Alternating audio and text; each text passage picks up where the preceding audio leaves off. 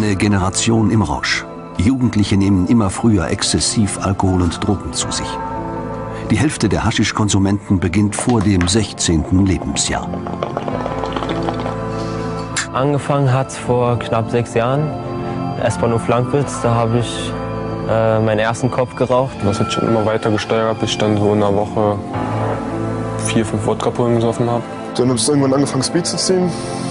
Dann habe ich äh, Tickets eingebaut, LSD gefressen, ganz viel. Man zieht den ganzen Tag aus. Ich habe im Endeffekt in Abständen von fünf Minuten immer die Nase gezogen. Speed, LSD, Crack, Spice. Allein oder auf Privatpartys werden illegale Substanzen aller Art konsumiert. Die Drogenszene ist heute allgegenwärtig. Das heißt, für einen jungen Menschen ist es überhaupt kein Problem, sich mit Drogen zu versorgen. Wenn man einmal so in diese Spirale reingekommen ist, dann rutscht man immer tiefer. Ich war dann im freien Fall, also bin einfach nur abgestürzt. Viele verharmlosen Cannabis als vermeintliche Naturdroge mit fatalen Folgen. Einige Suchtkliniken haben sich bereits auf Minderjährige spezialisiert. Kiffer sind nicht leichter zu behandeln als Heroinsüchtige. Teilweise selbst schwieriger. Wenn ihr Kind süchtig wird, beginnt für Eltern ein schmerzhafter Prozess, voller Zweifel und Vorwürfe. Ich glaube schon, dass die Drogen und der Alkohol dazu geführt hat, dass er heute abgebrühter ist. Das letzte Mal, als er jetzt weg war, hatte er noch die Schlüssel von der Wohnung und hat meinen ganzen Schmuck geklaut. Ich muss ehrlich zugeben, dass ich meinen eigenen Sohn bis heute nie wirklich kennengelernt habe. Er fand es halt toll, drauf zu sein, wie er immer gesagt hat. Sie kam nicht zu mir und hat mir gesagt, so, ich nehme Drogen. Ich habe ihr gesagt, du nimmst Drogen. Eine stationäre Therapie dauert bis zu einem Jahr. Es ist ein ständiger Kampf gegen den Rückfall. Ich weiß nicht, ob ich das auf lange durchhalte, wie das hier ist irgendwie. Aber ich gebe auf jeden Fall mein Bestes. Meine Ängste sind, dass ich es irgendwo nicht schaffe.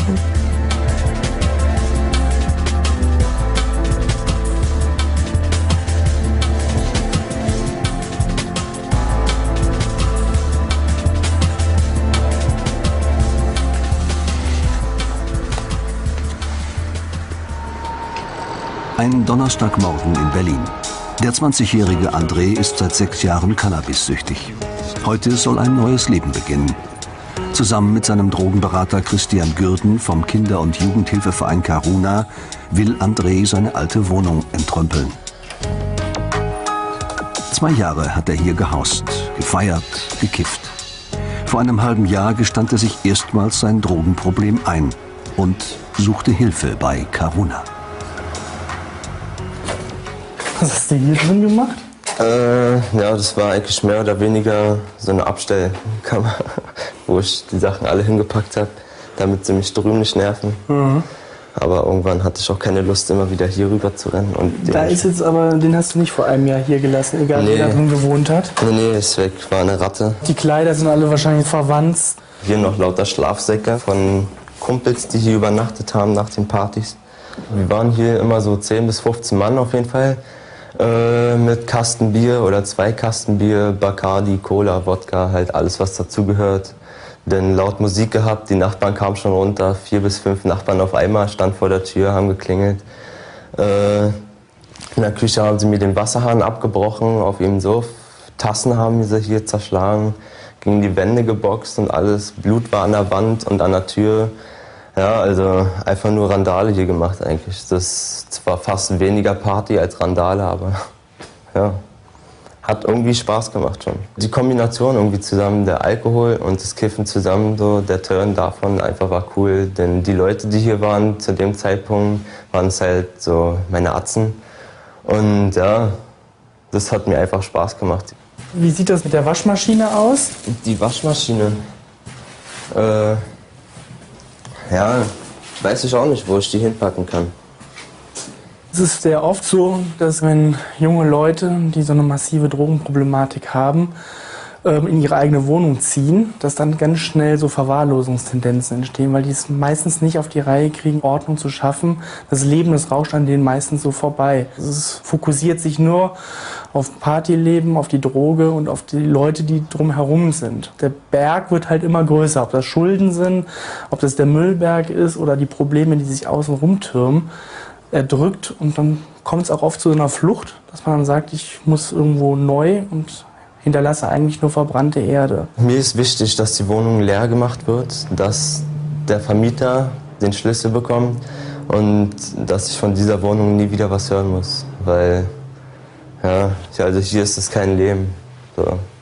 Ich habe Leute, die mich hier hassen in der Gegend und nee, brauche ich nicht unbedingt. Post, da müssen wir uns wahrscheinlich auch noch drum kümmern, bevor ja, du... da hast gar nichts gemacht, nur aufgemacht, kurz geguckt und Mhm. nicht. Habe ich nicht so die Ahnung von. Da sollten wir uns auf jeden Fall nochmal zusammensetzen und einen Termin bei einer Schuldenberatung machen. Mit 14 rauchte André seinen ersten Joint. Heute ist er süchtig. Haschisch ist die am häufigsten gebrauchte illegale Droge. Das ist eine selbstgebaute Haschpfeife. Das hier ist eine gekaufte Haschpfeife. Meistens aus Glas, ein bisschen ähm, schöner eben auch anzusehen. Und hier ist, haben die sich selber einen Trichter gebaut, wo hier oben äh, das Hasch reingekommen ist. Meistens in der Mische mit Tabak. Die normalen Mischungen liegen so bei 60, 40, 40 Haschig, 60 ähm, Tabak. Es gibt Leute, ich weiß nicht, ob André auch zu denen gehörten, die irgendwann so krass drauf sind, die das halt eben heiß ein inhalieren. Das heißt, sie gehen dann wirklich so da dran, was aber noch viel, viel schädlicher für die Lunge ist, weil es eben da auch dann wirklich zur Harzablagerung kommt. Der Kick ist eigentlich nicht viel, viel größer, sondern eher so dieses, also jetzt tue ich mir noch mal was an. Christian Gürden empfiehlt André eine Langzeittherapie außerhalb Berlins. So soll er aus dem Teufelskreis herausfinden. Seit, ich sag mal, vier Wochen hat er ein Hoch. Ich denke mir, es liegt ganz viel damit zusammen, dass er aus seiner bisherigen Situation ausgebrochen ist. Und seitdem André bei seinem Vater jetzt auch wieder lebt und auch konkret wird, dass es auf Therapie geht, dass er die Entscheidung gefasst hat, dass es auf Therapie geht und dass es jetzt auch sogar genehmigt worden ist von der Krankenkasse, äh, gibt ihm so einen Aufschub, dass man sagen kann, da investiert er gerade auch sehr, sehr viel Energie, die am Anfang nicht war. Heppenheim an der Bergstraße in Südhessen. In der 25.000 Einwohnerstadt lebt der 18-jährige Benny. Unterschiedlichste Drogen gehören seit Jahren zu seinem Alltag. Den ersten Joint rauchte er mit elf. Anders als Nikotin oder Heroin macht Cannabis nicht in erster Linie körperlich, sondern psychisch abhängig. Benny konsumiert mittlerweile fast täglich. Seine Kindheit verlief zunächst ganz normal, doch irgendwann geriet sein Leben aus den Fugen. Angefangen hat mit dem Alkohol, Rauchen dann habe ich angefangen zu kiffen. Dann habe ich irgendwann angefangen Speed zu ziehen. Irgendwann kam Koks und LSD im, im Misch, dann nur noch Koks, Heroin ausprobiert, dann habe ich Crack hab ich ausprobiert. Es gibt aufputschende Drogen und es gibt Drogen, die dich runterholen, dass du dann da hockst und erstmal den Kopf runtergeht, die Augen zufallen und nicht reden möchte und auch alles andere irgendwie doof ist. Oder es gibt Drogen, da macht's plopp, fängt das Herz an zu rasen. Man fühlt, als hätte man gerade eine ganze Welle voll Glück in seinem ganzen Körper. Und auf einmal fängt es an und die Gebäude verziehen sich und man läuft durch, durch, eine Straße, durch eine Straße und links und rechts sind überall Wellen an den, an den Wänden und man spürt seine Beine nicht mehr und man läuft nicht mehr, sondern man merkt irgendwie, man hat diese Bewegung nicht mehr drin, sondern man schwebt quasi durch die Straßen. Benny erhält finanzielle Unterstützung vom Jugendamt. Er befürchtet, dass die Hilfe aufgrund seiner Volljährigkeit bald ausläuft. Im Jobcenter hat er heute einen Termin bei einem Fallmanager. Das jahrelange Kiffen führt bei Benny zur Antriebslosigkeit. Behördengänge fallen ihm schwer. Kommen Sie rein. Schönen guten Tag. Hallo. Grüße Sie. Nehmen Sie bitte Platz. Das Problem ist, ich habe meine Ausbildung am 1.9. anfangen sollen, war aber drei Wochen krank und mein Chef hat gesagt, ich soll erst eine Therapie machen, um die psychosomatische Erkrankung, die ich habe, dadurch, dass ich viele Sachen in meiner Vergangenheit nicht verarbeiten konnte, dass mein Körper sich wieder erholt. So. Auf jeden Fall habe ich jetzt ein Problem, weil ich weiß nicht, wie ich meine Miete bezahlen soll und wovon ich leben soll in der Zeit, wo ich keine Arbeit habe. Mein letztes Einkommen waren 300 Euro und das waren als Hilfsarbeiter habe ich es in derselben Firma geschafft vorher, weil ich erst Praktikanten ein halbes Jahr gemacht habe. Aber das ist jetzt auch schon einen Moment zurück. Das Ja. ist Ende erst, also 1.9. war das mit dem Hilfsarbeiter zu Ende und dann hat die Ausbildung angefangen. Mhm. Okay, und Zwei Monate habe ich als Hilfsarbeiter gearbeitet. Ja. Sie müssen zunächst erstmal einen Antrag auf Leistungen bei uns stellen. Ich händige Ihnen jetzt diese Unterlagen aus und gebe Ihnen eine Checkliste dazu äh, mit den äh, angeforderten Papieren, die Sie uns dazu noch vorlegen müssen. Ne?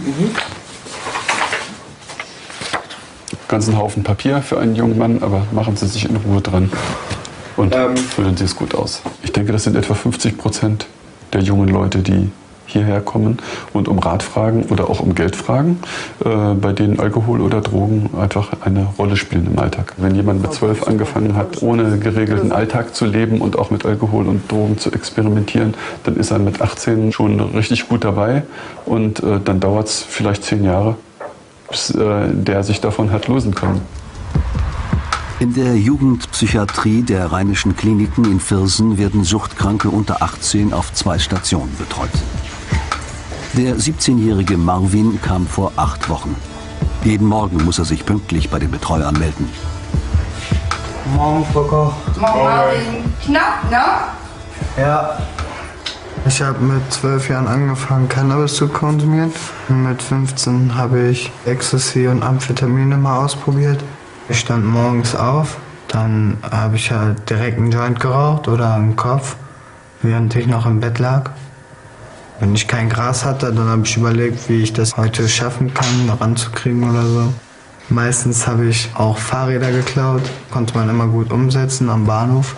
Später habe ich dann Handys geklaut und Laptops und so. Dann haben wir gekifft, ein, zwei Nasen gezogen. Ja, Schulz, ich muss abgeben.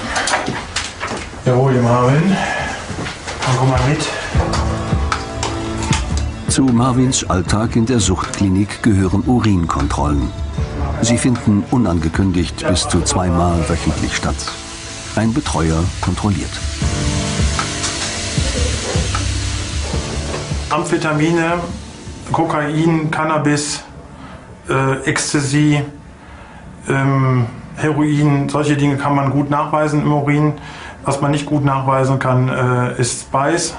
Viele Drogen können einfach auch nur durch zwei-, dreimalige Abnahme nachkontrolliert werden oder der Nachweis ist dadurch gegeben. Ein Rückfall droht immer. Auch Marvin vermisst seine Drogen. Und wenn ich das halt sehe oder rieche, dann, dann kommen so die alten Gedanken bei mir hoch, wie das ist und wie geil die Wirkung und so davon ist. Und ja, dann kriege ich halt Suchtdruck davon. Tabata ist eines der wenigen Mädchen in Viersen. 70 Prozent der Patienten sind männlich. Die 16-Jährige ist seit vier Monaten hier. In acht Wochen soll sie entlassen werden. Angefangen habe ich mit den Drogen so mit 11, 12, mit Cannabis. Anschließend habe ich dann Amphetamine konsumiert und dann Ecstasy. Anfangs eigentlich nur so, um Probleme zu vergessen. So, wenn es mir sehr, sehr schlecht ging, so, dass ich dann zum Beispiel meinen Joint geraucht habe oder Nase gezogen habe. Und ähm, im Laufe der Jahre hat das dazu entwickelt, dass ich eigentlich den ganzen Tag über konsumiert habe, egal ob es mir gut oder schlecht ging. Weil ich einfach halt süchtig danach äh, war. Das Hauptproblem ist bei mir eigentlich Speed.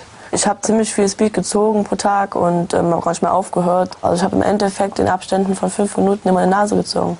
Dann bin ich irgendwann an den Punkt gekommen, wo es mir sehr, sehr schlecht ging, wo ich wirklich auch stark körperliche Schäden von Drogen hatte, ähm, auf die ich dann so gesehen ja, keine Rücksicht genommen habe, auf mich selber nicht mehr, auf meinen Körper nicht mehr. Ich war total am Ende. Habe dann aber gesagt, ist egal, ich nehme weiter Drogen, ich brauche das Zeug einfach. Die Kinder- und Jugendpsychiatrie verfügt über eine eigene Schule. Viele der Süchtigen nahmen zuvor nicht mehr am Unterricht teil. Can any one of you translate one of these phrases? Kann einer von euch einen dieser Satzbausteine bitte direkt nennen und dann auch übersetzen? Tabata, would you please translate the last sentences? Ja. Dankeschön für die vielen Briefe, äh, welche ich bekommen habe. Yeah, which has just arrived, der gerade angekommen ist. Mhm. Ähm, Or which I received two weeks ago. What das does heißt received. auch bekommen, erreichen? Ja, welche ich die letzten zwei Wochen bekommen habe. Ne? Mhm. Ich konnte gar nichts mehr leisten. So entweder saß ich im Unterricht und war so abgespaced, dass ich gar nicht mehr richtig ähm, denken konnte so. Oder ich war einfach nur so müde und geschafft, dass ich äh, eingeschlafen bin im Unterricht. Oder ja, man hat einfach Dinge nicht mehr so wahrgenommen, wie sie waren. In der Regel hat der Drogenmissbrauch dazu geführt, dass das Leistungsverhalten und das Sozialverhalten nicht mehr dem entspricht, was man in der Regelschule erwartet. Und dann müssen wir ein Stück entgegenkommen und die Schüler müssen wieder aufbauen, denn sie wollen ja nachher auch wieder an ihre Regelschule zurück. Auch Marvin schwänzte die Schule immer wieder. Der 17-Jährige ist ohne Abschluss. Heute Nachmittag gehören zwei Stunden freie Zeit zu seinem Tagesprogramm. Harten Drogen kann man ja Konzentrationsstörungen kriegen und ja, Denkfähigkeit wird verringert und dass man halt Sachen schneller vergisst und sowas. Ja, und das ist bei mir eigentlich auch merkbar. Ich kann Sachen manchmal, die habe ich vor zehn Minuten gehört, die habe ich dann wieder vergessen. Ich bin jetzt in der 11. Klasse und ich kann manchmal keine Sachen, die ein Siebtklässler können konnte. Ich hätte vieles anders machen können. Ich hätte auf Realschule gehen können, meinen Abschluss hätte ich 10b gemacht. Ja, dann wäre ich jetzt wahrscheinlich schon ein oder zwei Jahre in der Ausbildung. Marvin möchte später Maler und Lackierer werden. Zunächst muss er seinen Schulabschluss nachholen. Unterstützung erhält er von seiner Familie. Wenn meine Familie jetzt den kompletten Kontakt mit mir abbrechen würde, dann würde ich auch die Therapie, glaube ich, abbrechen. Und ich glaube, dass mich das so krass runterziehen würde, dass ich dann gar nicht mehr den Mut, so den Mut oder Stärkung in mir habe, dass ich das dann überhaupt schaffen will. Nach dem Schwimmen muss sich der 17-Jährige bei seinen Betreuern auf der Station zurückmelden. Jeder Ausgang birgt Versuchungen. Alkohol und Drogen sind außerhalb des Klinikgeländes leicht zu beschaffen. Ja. Hallo Marvin, hast du irgendwas mit reingebracht, was nicht rein sollte? Nur Shampoo und Badesachen. Mhm. Gerade jetzt vom Schwimmen her. Ja. Noch irgendwo einen Zwischenstopp gemacht? ja.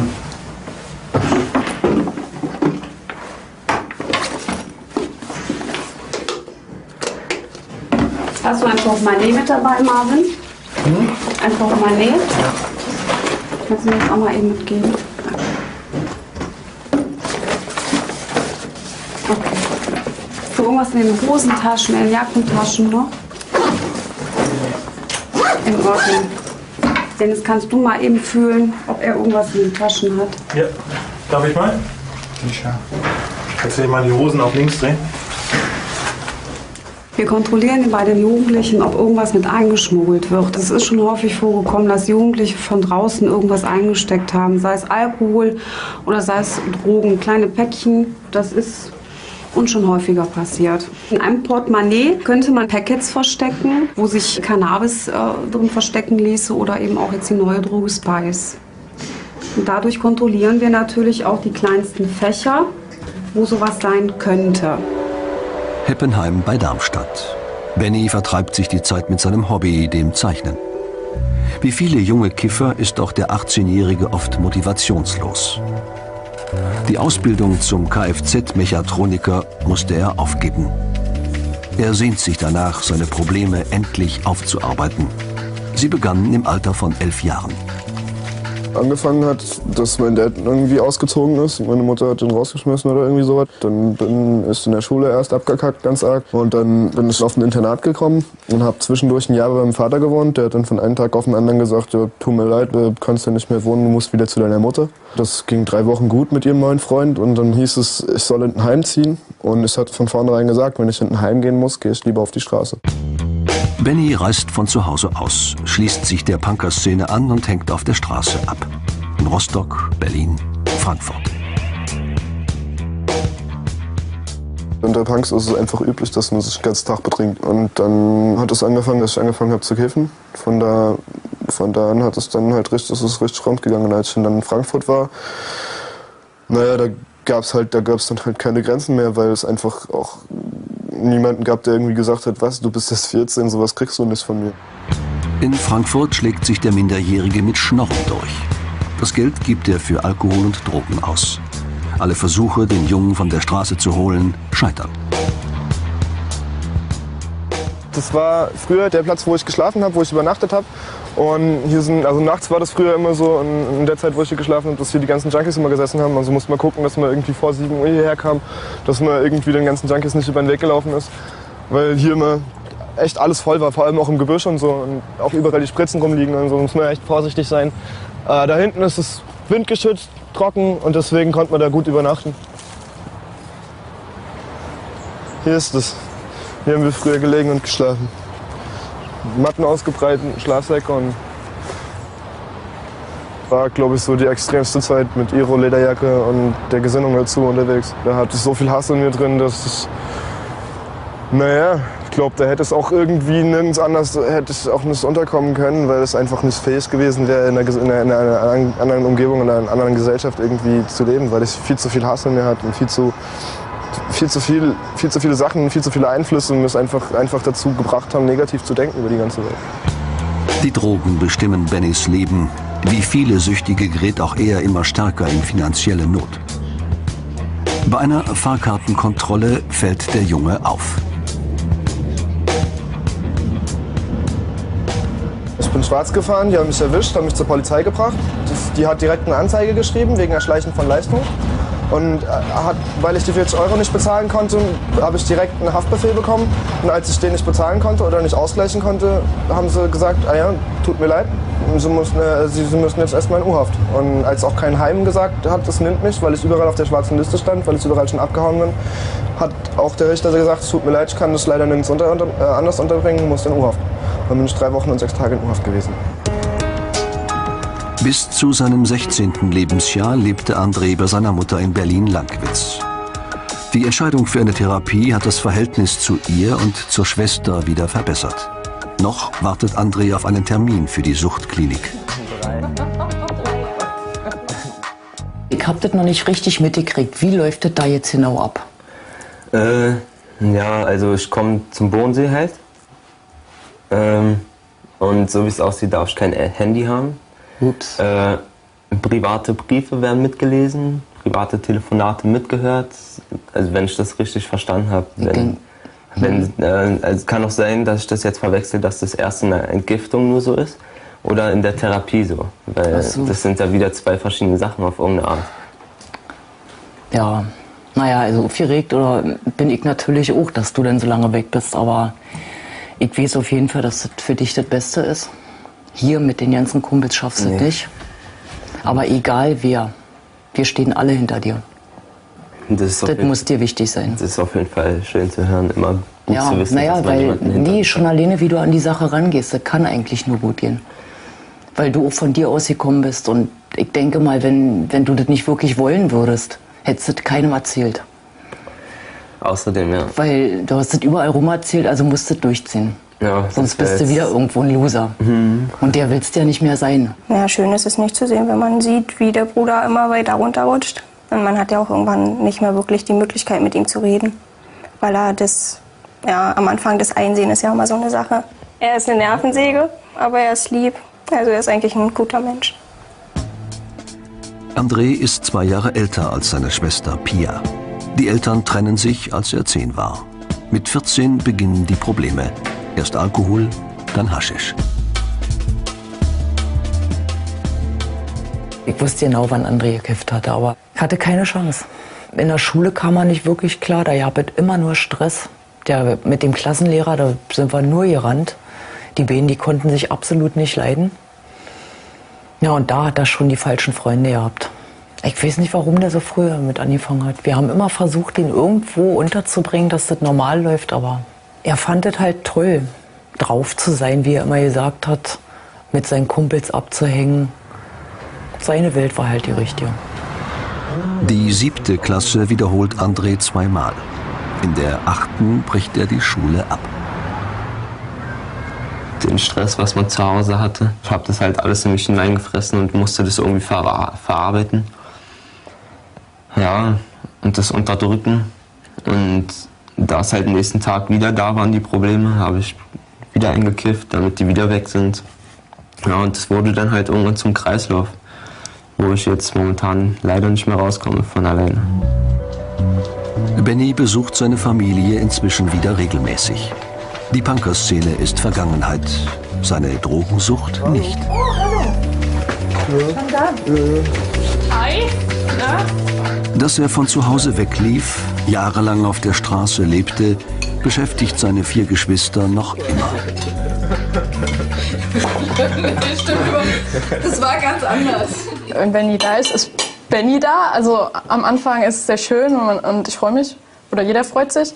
Und dann ähm, wird es aber relativ schnell sehr anstrengend, weil er einfach sehr viel erzählt und, und, und sehr präsent ist. Und er freut sich ja auch und er kommt regelmäßig. Ich denke schon, dass es immer noch ja, wichtig für ihn ist. Einfach da zu sein, seine Geschwister. Er redet sehr viel. Man kriegt ihm eigentlich nur zum Schweigen, wenn, er, wenn man ihm auch wirklich sagt, Benny, sei mal bitte leise, du redest zu viel im Moment. Also so ist es zumindest bei mir. Aber ansonsten ist es eigentlich, ich finde es jetzt nicht als Problem oder so. Es ist eher wie ein guter Freund.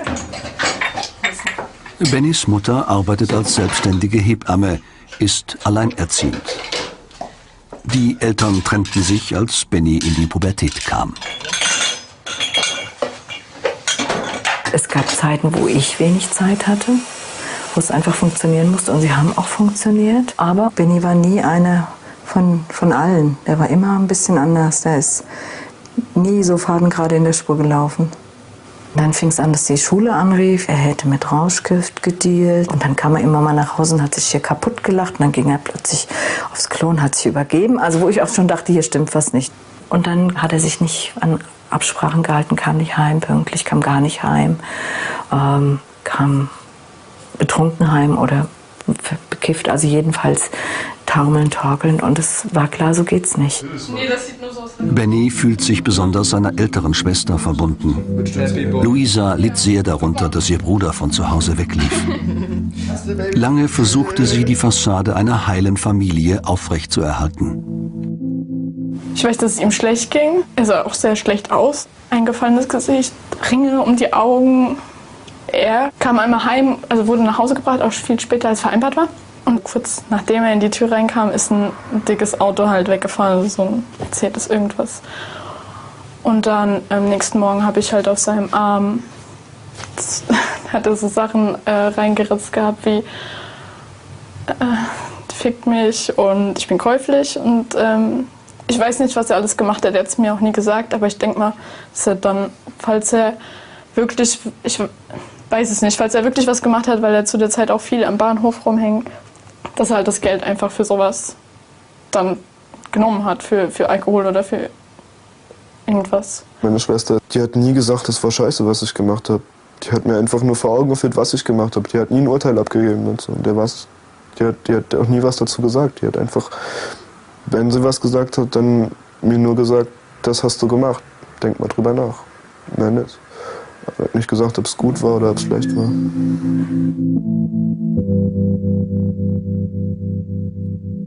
Das Weglaufen hat einfach wirklich das Ganze verstärkt. Wenn der zu Hause geblieben wäre, wäre es sicherlich auch nicht einfach geworden. Und er wäre sicherlich auch auf die Suche gegangen und wäre sicherlich auch mit Drogen mehr oder weniger viel oder wenig in Berührung ge gewesen. Aber so das strukturierte Leben wäre weitergegangen und es ist weggebrochen. Und dadurch glaube ich schon, dass es auch haltlos geworden, haltlos oder haltloser geworden ist. Bennys Mutter hofft seit langem, dass sich ihr Sohn zu einer Drogentherapie durchringt. Ich glaube schon, dass die Drogen und der Alkohol dazu geführt hat, dass er heute abgebrühter ist. Also sicherlich auch das Leben, aber das Leben beinhaltete ja täglichen Alkohol- und Drogenkonsum. Ich finde ihn skrupellos an ein paar Ecken und bin auch erschrocken. Ja, also auch mit, wenn er so wütend wird, wenn er was will und er kriegt es nicht, ja, wenn, wie schnell er da hochgeht und mit welcher Kaltblütigkeit er mich beschimpft, da bin ich schon sehr erschrocken. Er kennt seinen eigenen Wert überhaupt nicht. Überhaupt nicht ansatzweise. Er versucht einfach sich kaputt zu. Also, nee, so kannst du auch nicht sagen. Das ist. Oh, ich, ich weiß nicht warum, aber er versucht sein, versucht sich alle Steine in den Weg zu legen und, und tut es auch. erfolgreich, ja, und ähm,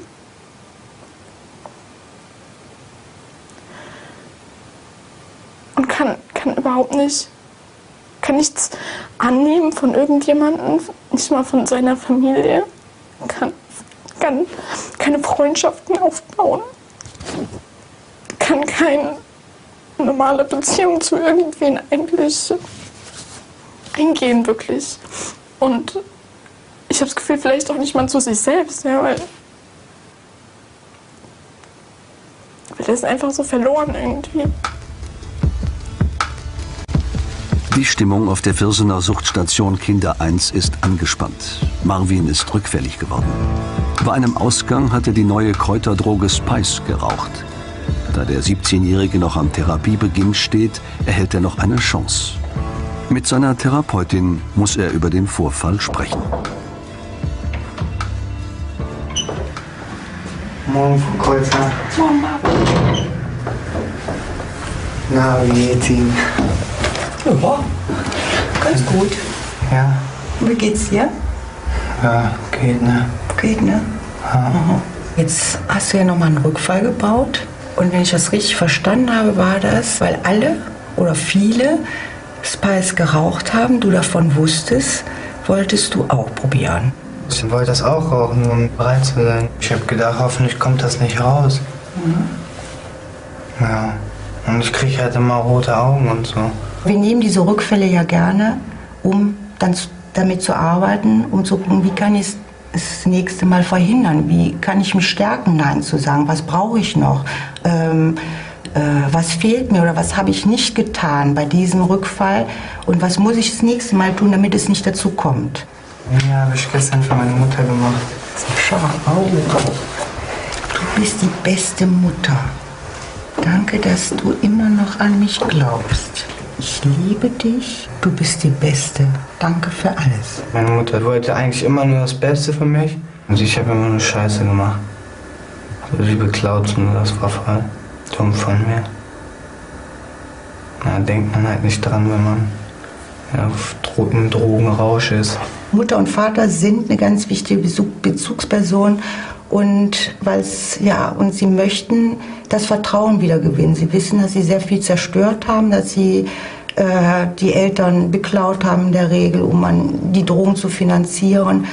Jetzt, wo sie klaren Kopf haben, äh, wissen sie, dass sie damit vieles zerstört haben, dass sie viele, vieles verloren haben und äh, ihnen ist halt ganz wichtig, jetzt das Vertrauen wieder aufzubauen und äh, wieder ein gutes Verhältnis zu haben und zu wissen, da steht jemand wieder hinter mir.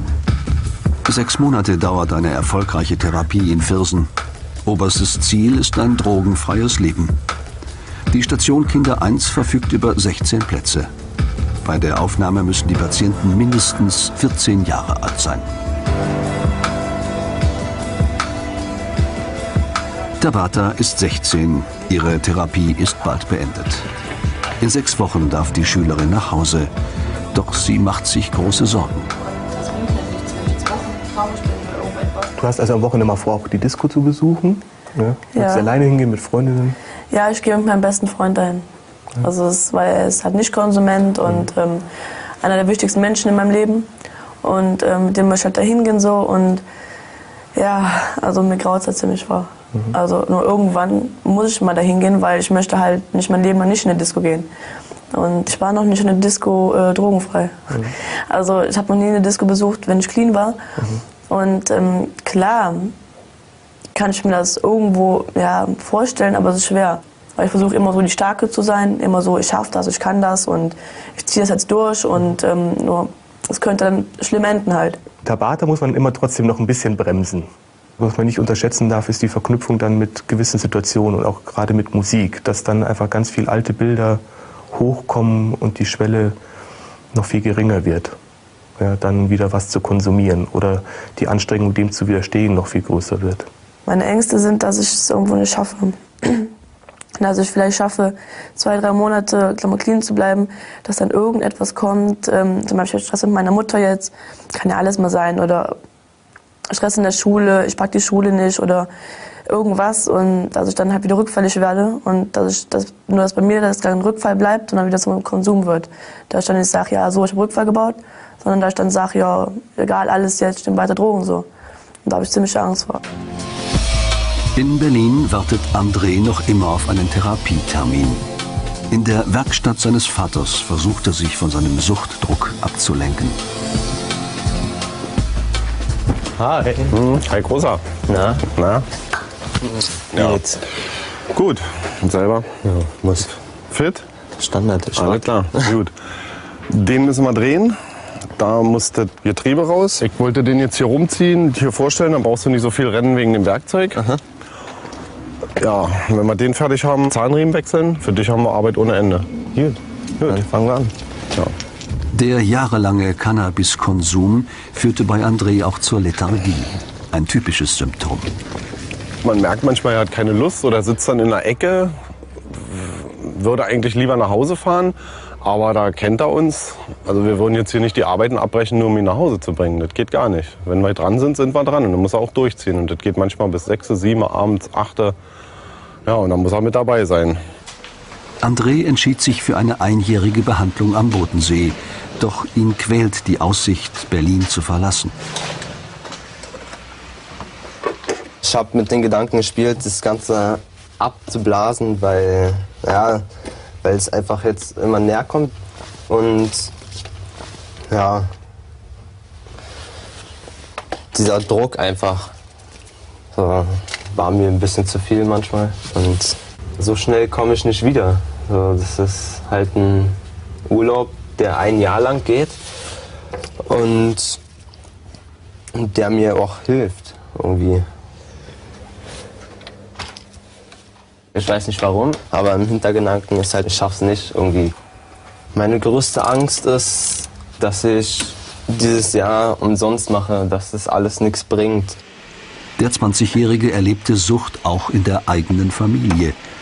Drei Brüder seines Vaters starben an einer Überdosis Heroin.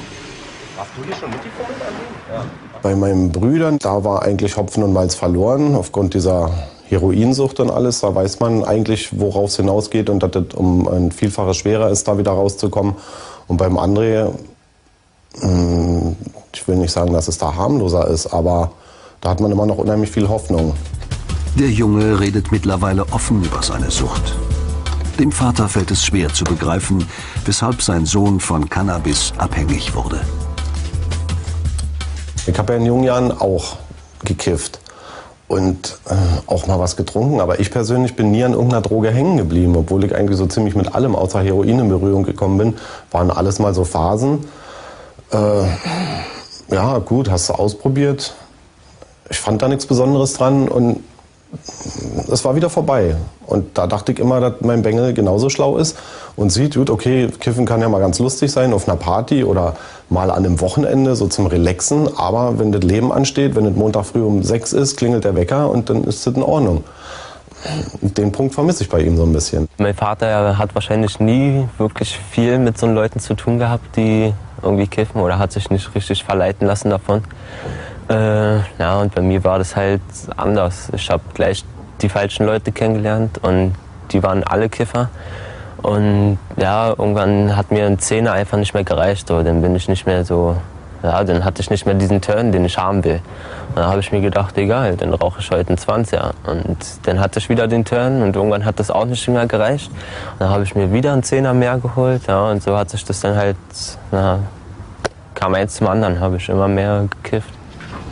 Andres Eltern sind geschieden. Die Mutter fühlte sich zunehmend überfordert mit dem Kind. Als André 16 wurde, nahm der Vater ihn zu sich. Dieses behütete Zuhause hat er nicht gehabt. Von seiner Mutter wurde er rausgeworfen, weil die auch irgendwann einen Kanal voll hatte. Und dachte ich, gut, er kommt jetzt zu mir, wir müssen uns da irgendwie zusammenwürfeln. Ich habe die ganzen Jahre keine Zeit für ihn gehabt. Mal gucken, was wir da jetzt noch rausholen können. Und hatte natürlich da auch so meinen Traum, jetzt mit ein bisschen Strenge, in Anführungsstrichen, äh, ja, gucken, dass wir da jetzt einen Kerl draus machen. Und ging 14 Tage, drei Wochen gut. Und dann ist André seinen Weg gegangen und hat seine Nummer durchgezogen. Und ich hatte da praktisch gar keine Chance mehr. Ich muss ehrlich zugeben, dass ich meinen eigenen Sohn bis heute nie wirklich kennengelernt habe. Der ist irgendwie nicht greifbar. Ich weiß, dass er diesen Wunsch hat, morgen, morgen fange ich ein neues Leben an. Das hat man ihm immer wieder angemerkt und er hat diesen Absprung nicht geschafft. Und ich hoffe halt, dass er das jetzt durch diese Therapie endlich schafft. Prost, Großer. Prost. Auch Benny hat sich jetzt für eine Therapie entschieden. Da er seit seinem elften Lebensjahr Drogen konsumiert, zeichnen sich erste körperliche Schäden ab. Die Krankenkasse verlangt zur Kostenübernahme eine Beurteilung seines Arztes. Damit kann sich Benny um einen Therapieplatz bewerben. Dass man eine Beziehung herstellen kann, dass man da was klären kann. Erzähl mal ein bisschen was zu deinen Krankheiten, die du bis jetzt gehabt hast. Innere Krankheiten. Mein Darm, mein Magen ist ziemlich kaputt. Aktuell. Ja. Ja, erzähl, wie kam das so? Wie das Ja, angefangen? also vom Alkohol her ist es halt so, dass ich zu viel gesoffen habe und deswegen mein Magen einfach aufgibt. Äh, ein größerer Schluck Bier nicht gekotzt, wenn ich, wenn ich Bier trinke, Ja. zum Beispiel. Also das reicht schon. Das heißt, der verträgt fast gar nichts mehr. Verträgt gar nichts mehr. Ist das wie eine Magenentzündung oder eine Gastritis oder Nee, so? das ist wie, wie, wie Sodbrennen, es kommt Wie dann einfach wieder hoch. ja, okay. Mhm, Plopp. Also erbrechen. Ja. Wenn ich was esse, was ziemlich fettig ist, das kommt direkt wieder hoch. Also saure Dinge, fettige Dinge. Ja, wenn es zu arg ist, ja. Wie ist mit Durchfall? Ja, beständig. Ja, es hat mit Magenkrämpfen angefangen, dass, es immer, dass ich eine Darmkrämpfe hatte und das immer alles verkrampft war. Irgendwann Jetzt mal zur Frage, was nimmst du zurzeit noch für die Suchtmittel? THC, Kiffen. Ja, THC Ja. zurzeit, ja. Ja, und das Zu halt, viel? Das war jetzt, die letzten Monate war es ziemlich viel und dann habe ich seit jetzt drei, vier Wochen ähm, nur noch abends geraucht. Also Was ist das in Gramm ausgedrückt? eins ungefähr. Ein Gramm am Abend. Ja, das sind ungefähr zehn Köpfe. Das heißt ein Gramm am Tag und früher, wenn du mehr getrunken, äh, Quatsch, mehr ge, äh, Geraucht hast, dann geraucht hast, so wie war das denn? Fünf Gramm am Tag. ungefähr. Fünf Gramm am Tag, ja? Ja, so im Schnitt. Zur Zeit, als du noch getrunken hattest, wie hat sich, wie hat sich dein Verhalten verändert oder was war Ich bin anders? aggressiv geworden. Ich habe Aggressiv, angefangen, Müll zu erzählen. Aber ich denke, es ist schon wichtig, dass du für dich entscheidest, wo will ich hin. Also was ist das Ziel? Wa- Was will ich anstreben? Wo will ich meine Energie, meine Kraft einsetzen? Wenn das, es kann ja sein, dass du sagst, ich weiß noch gar nicht. Ich will erst mal schauen, wie das ist, was auf mich zukommt. Wie ist denn das? Ich kann mir das noch nicht richtig vorstellen, wie das sein kann oder wie das ist, dann so total clean zu leben. Kann natürlich auch sein, dass du sagst, nee, ich will nie mehr dieses Zeug anpacken. Das muss ich ja irgendwann irgendwie klären. Es gab schon immer den Gedanken, eine Therapie zu machen, dass ich mit meinen Problemen klarkomme, dass ich das verarbeiten kann, was passiert ist in der Vergangenheit. So viel passiert ist einfach. Das ist das, was auf jeden Fall an erster Stelle steht für mich. So, ich höre jetzt mal hinten die Lunge ab. Kannst du dich ein bisschen nach vorne beugen lassen? Muss nicht halten, muss nicht halten. Das geht von allein. So, mit offenem Mund mal tief ein- ausatmen. So, bitte umdrehen. So, kurz. Nochmal. Es muss von ärztlicher Seite natürlich auch die Erkrankung beschrieben werden, dass dazu was gesagt wird. Wie weit ist wirklich jemand krank? Was sind für Begleiterkrankungen mit dabei? Also bei so einem jungen Menschen vielleicht eher weniger, aber ich sag mal, beim normalen Suchtkranken, der lange Jahre suchtkrank ist, muss ich vorstellen, bis jemand sozusagen mit einer Suchterkrankung, bei einem Alkoholismus zum Beispiel, überhaupt erstmal äh, zu einer Fachperson kommt, vergehen oft 15 Jahre. Da sind eine Menge Begleiterkrankungen dabei. Also von der Lunge, Herz bis über Bauch, Leber, Magen, Darm, da ist also eine ganze Menge und deswegen muss das schon ausführlich äh, mit begutachtet werden, ja, um einfach die Schwere der Erkrankung auch ein bisschen einschätzen zu können. Im Durchschnitt dauert die Bewilligung der Krankenkasse für eine Therapie sechs Wochen. Also für mich ist immer so ein typisches Beispiel. Ich habe ein ganz gutes Gefühl, muss ich sagen. Ich denke, dass er überhaupt jetzt den Entschluss gefasst hat, ist ein sehr gutes Zeichen, dass er sich durchgerungen hat und sich auch die letzten Wochen, Monate durchgebissen hat. Ich kenne als jemand, der, wenn er sich was in den Kopf gesetzt hat, wirklich eine Menge Energie äh, aktivieren kann und die Sachen dann auch zu Ende bringen kann, denke ich schon. André in Berlin hat den Cannabiskonsum zwar reduziert, doch bis zu 4 Gramm raucht er noch täglich. Der Wirkstoff THC beeinflusst das Zentralnervensystem, führt zu Bewusstseinsveränderungen. André fühlt sich ohne seinen Stoff leer und kraftlos. Auf irgendeine Art mache ich es gerne, so wegen dem Turn, den ich dann habe. Aber auf der anderen Art weiß ich halt, dass mich das in keinster Weise weiterbringt. Das lässt mich sogar noch weiter rückwärts laufen. Und ich will aber vorwärts laufen, ja. Wenn man eine Tüte raucht, das finde ich persönlich nicht so extrem, als wenn man einen Kopf rauchen würde. Da ich halt die ganze Zeit Bon geraucht habe, habe ich immer drei, vier bis fünf oder sechs Köpfe rauchen müssen, bis ich überhaupt angefangen habe, was zu merken davon. Ja, und jetzt durch Runterdrosseln wieder reicht eine Tüte, eine halbe Tüte und mir geht's gut. ja. Und ich bin wieder auf meinem Turn. Das ist Cannabis und da so gut wie jeder anfangen will, irgendwie zu verkaufen äh, und der eine will einen besseren Kurs geben als der andere, dass er mehr Kunden hat, ähm, ja, da machen sie halt was drauf, um das schwerer zu machen, um einen besseren Kurs anbieten zu können. Zum Beispiel, wenn man das so, äh, das alles von hier unten so nach oben drücken würde jetzt, dann sieht man, ob hier unten so ein bisschen Sand ist oder nicht. Also man sieht es auf jeden Fall. Wenn es knirscht, ist es Vogelsand. Mehl schmeckt man ja raus, Zucker schmeckt man auch raus. Mit Zuckerwasser machen sie es auch gerne. Alles halt, was so das Gewicht ein bisschen beeinflusst. Ich habe dem nicht so eine Bedeutung beigebracht wie Heroin oder Koks oder was es da alles so für ein Zeug gibt. Ich fand das eigentlich nicht so akut, aber dass man da so abhängig von werden kann, muss ich ganz ehrlich sagen, das habe ich nicht gewusst. Die Kinder- und Jugendpsychiatrie in Viersen.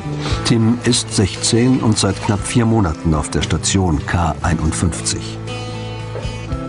Seine Drogenkarriere begann vor drei Jahren. Ich bin zu Alkohol gekommen, da war ich 13, bis ich dann so in einer Woche vier, fünf Wodka-Pullen gesoffen habe. Dann zum Schnüffeln, vom Früh bis abends dicht gewesen. Zwischendurch habe ich dann mal fast alles Mögliche ausprobiert, von Cannabis über PEP bis Teile, Pilze, LSD. Das Einzige, was ich nie ausprobiert habe, war Heroin. Schnüffelstoffe sind Tims Hauptproblem. Wie viele Jugendliche nahm er sie als Ersatz für illegale Drogen. Schnüffelstoffe kann man eigentlich überall kriegen. Ähm, von Gas, also Feuerzeuggas, über Benzin, ähm, Äther, Aceton, Nitro, Lachgas. Das sind alles so Sachen, die man konsumieren kann. Ich habe halt öfters Sessions veranstaltet. Jeder hat sich dann fünf, sechs Flaschen Feuerzeuggas geholt, zwei Liter und haben wir das halt dann genüsslich konsumiert. Da sind auch schon öfters mal Leute aus, äh, umgekippt, so weil sie sich eine Flasche zu viel reingezogen haben. Und ja, ich habe ja zudem, ich habe ja da fast nie gelüftet. Und wenn man da reingekommen ist, man ist da schon, man hat die Tür aufgemacht und ist schon bereit gewesen. Tim plagen oft Zweifel. Auch die strengen Verhaltensregeln auf der Suchtstation sind für den 16-Jährigen gewöhnungsbedürftig. Wie Oh? Ja, ich bin gleich fertig. Dann lass mich mal schauen. Ja. Dann noch die Sachen rein und ja. äh, Der Schrank sieht ordentlich aus. Schreibtisch müsstest du aber bitte noch machen. Die Tabakkrümel weg, den Müll ein bisschen entsorgen Mhm. und deine Sachen sortieren, ein bisschen Ja. zusammenlegen. Kann ich mal in deinen Nachtschrank gucken? mm, nicht, Mhm. nicht Ja, ich gerne. schau mal eben. Ja, der ist aber soweit okay. Der Großteil unserer Jugendlichen hat äh, in den letzten Jahren keine Struktur mehr erlebt, äh, keinen geregelten Tagesablauf. Und das ist eines der Dinge, ähm, die die wieder erlernen müssen. Ähm, was bedeutet, dass sie, ähm, dass die Jugendlichen eine neue Alltagsstruktur wieder äh, bekommen. Ähm, und wir sie darin unterstützen, indem wir halt auch Tipps eigentlich ergeben.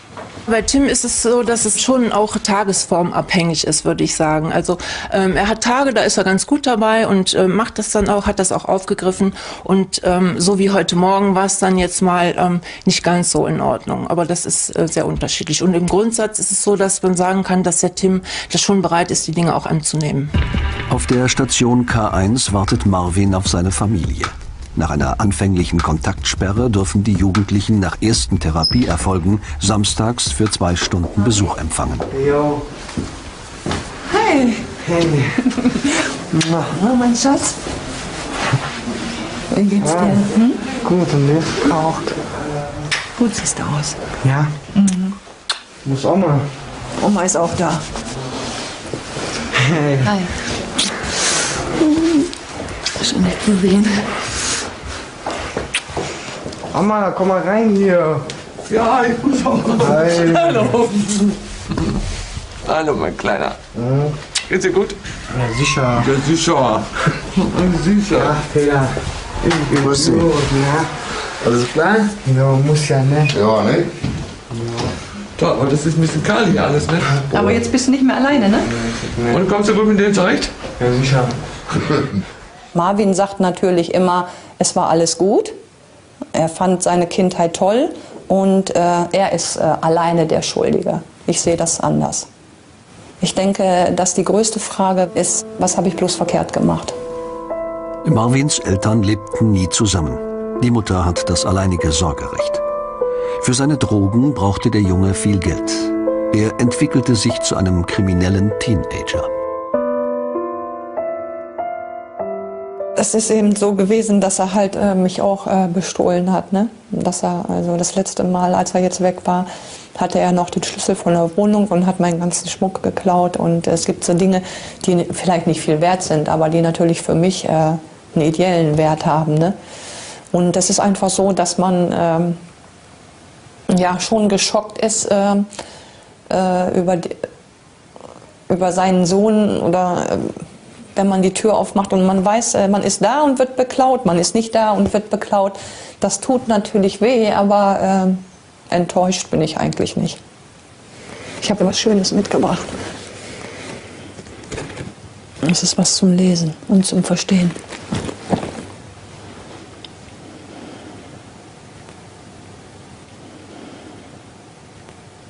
Hol ordentlich Schwung auf der Schaukel des Lebens, genieße das Kribbeln im Bauch und betrachte jedes Tief nur als Etappe auf dem Weg nach oben, dorthin, wo die schönste Aussicht ist. Für dich, mein Schatz, du sollst wissen, dass auch in den Tiefs, in den Tiefs ich für dich da bin, deine Mama. Ich liebe dich. Ich habe auch ein Bild. Ein Bild? Ja. Selbst Hast du gemacht. mich nicht gemalt, ne?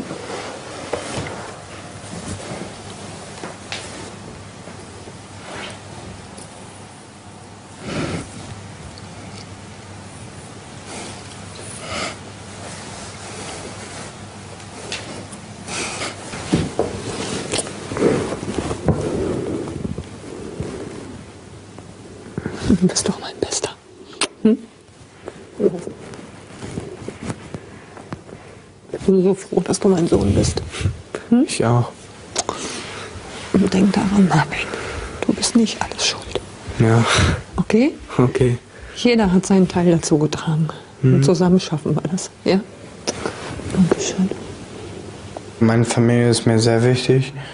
Und wenn ich Unterstützung brauche, würde ich auch von jedem von denen Unterstützung kriegen. Da bin ich mir hundertprozentig sicher. Und meine Mom war so, stand sowieso immer hinter mir. Und das wird sie auch auf jeden Fall, denke ich mal, weiter tun, wenn ich das hier ordentlich mache. Ich habe in diesen Stationen, die ich Marvin begleitet habe, oft erlebt, dass die Psychologen gesagt haben, es ist sehr ungewöhnlich, dass, dass Eltern sich so reinhängen. Meistens heißt es so übertrieben gesagt, äh, bringen Sie mir das Kind wieder, wenn es okay ist. Das funktioniert aber nicht. Berlin Friedrichshain. Für André wird es ernst. Bevor der 20-Jährige seine Therapie antritt, muss er zehn Tage zur Entgiftung in ein Entzugshaus. Sein Drogenberater Christian Gürden vom Jugendhilfeverein Karuna begleitet ihn. Er hat eine Entscheidung getroffen. Ähm, Er ist gewillt, diese Entscheidung durchzuziehen. Es ist aber auch der schwerste Punkt, nämlich ab hier ist der Cut. Ab jetzt läuft die Uhr andersrum. Also ganz viele Kontakte dürfen jetzt nicht mehr wahrgenommen werden. Ähm, die Tagesabläufe werden anders werden. Es wird sich auf einmal sehr viel noch mehr auch um die Droge drehen. Allerdings diesmal umgekehrt. Es geht nicht um Konsum, sondern es geht um Abstinenz. Das ist der Anfang und das ist für viele das Schwerste eigentlich.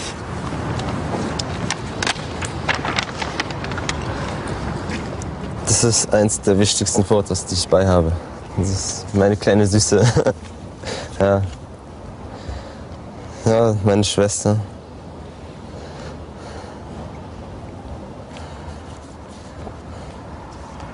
Hier ist mein Papa nochmal mit meiner großen Schwester. Das sind alles Fotos, die werden bei mir neben dem Bett stehen, damit ich was von meiner Familie habe. Der erste Schritt. Die Aufnahme in der zentralen Anmeldung des Berliner Drogentherapiezentrums. Mehr als 1000 Klienten betreut der Verein im Jahr. Nehmen Sie erst mal Platz, bitte. So, bevor es losgeht, habe ich noch mal ein paar Fragen. Ich wüsste gern, wovon Sie aktuell entgiften. Äh, Was haben Sie konsumiert? Cannabis. Das war auch das Einzige. Wann haben Sie das zum letzten Mal konsumiert? Gestern. Gestern. Okay. Haben Sie schon mal entgiftet jetzt? Nein, noch nie. Noch nicht, ist das erste Mal Ja. jetzt. Okay. Der Entzug dauert zehn Tage. Mhm. In diesen zehn Tagen haben Sie Kontaktsperre, das heißt, Sie können keinen Besuch bekommen. Also keinen privaten Besuch, keine Angehörigen, Freunde, das geht nicht. Sie können in dieser ganzen Zeit, jetzt während der Entgiftung, in den zehn Tagen, nur zweimal privat telefonieren und einen Brief schreiben. Okay. Es sind nur Kontakte erwünscht zu Personen, die nicht konsumieren, die keine Drogen Alles konsumieren. klar. Ja. Sie können keinerlei technische, elektrische Geräte nutzen. Kein Handy, MP3-Player, Notebook, Gameboy. Das geht alles nicht. Okay. Sinn der Sache ist, dass Sie wirklich einen Schonraum haben für sich, wo Sie zur Ruhe kommen können, sich auf den Entzug konzentrieren können und sich darauf einstellen können, wie es nach der Entgiftung weitergeht, also Richtung Therapie. Komplette Umstellung, ich weiß nicht, irgendwie. Nichts ist, wird erstmal so sein, wie es war die ganze Zeit. Irgendwie, weiß ich nicht, ich bin so aufgeregt, ich kann nicht wirklich irgendwie jetzt wirklich nachdenken, was so auf mich zukommt. Es ist hier ein sogenannter kalter Entzug, das heißt, wir geben keine psychoaktiven Medikamente während des Entzuges. Und ähm, von daher müssen wir vorher prüfen, ob die Leute hier optimal aufgehoben sind. Das heißt, ähm, sie dürfen keine Abhängigkeit haben von Alkohol und von Medikamenten. Rückschlag für Benny. Der 18-Jährige muss zu einem Anhörungstermin vor Gericht. Wegen Marihuana-Besitz und einer Schlägerei wurde er vor einigen Monaten zu 80 Sozialstunden verurteilt, die er nicht ableistete. Nun droht ein vierwöchiger Beugearrest. Benny gibt sich cool. Wenn ich jetzt hier sitzen würde und müsste mit drei oder vier Jahren rechnen, dann wäre das was ganz anderes. Dann würde ich hier auch sitzen und würde mir ins Recht zittern. Das geht um vier Wochen. Das ist nicht besonders lange und das, vor allem ist es, es ist auch so, dass wenn, wenn man lange noch irgendwie unterwegs gewesen ist und oft genug irgendwie Scheiße gebaut hat und gerade so davon gekommen ist oder gerade so irgendwie selbst wenn man dann kontrolliert worden ist und es noch geschafft hat, da irgendwie rauszukommen, dann hat man irgendwann das, dieses, äh, dieses, dieses, dieses aufgeregte und nervöse nicht mehr. Gibt's nicht mehr. Weil? Ich bin aufgeregt. Wieso bin ich aufgeregt und du nicht? Es ist deins. Ich bin, ich bin gar nicht mehr aufgeregt. Ich werde ich werd auch nicht mehr nervös, wenn die Polizei mich kontrolliert oder so. Gar nicht mehr. Mhm. Scheiße.